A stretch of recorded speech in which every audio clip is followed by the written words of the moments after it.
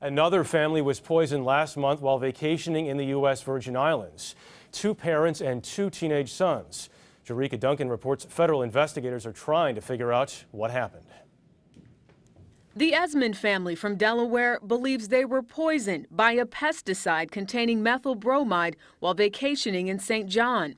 Stephen Esmond is in stable condition. His wife Teresa has been released from the hospital, but their two sons, ages 14 and 16, reportedly suffered seizures and are in critical condition. According to the Environmental Protection Agency, inhalation of methyl bromide may be fatal or cause serious acute illness or delayed lung or nervous system injury. Today, Sea Glass Vacations, which runs the villa the family rented last month, said the unit below where the Esmond stayed was recently treated for pests by Terminix. However, the resort itself had not been treated.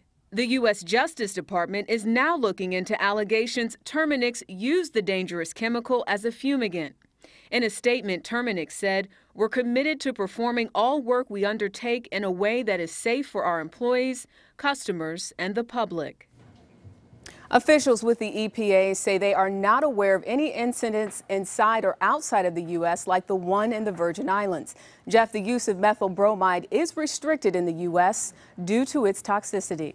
Jericka Duncan, thank you.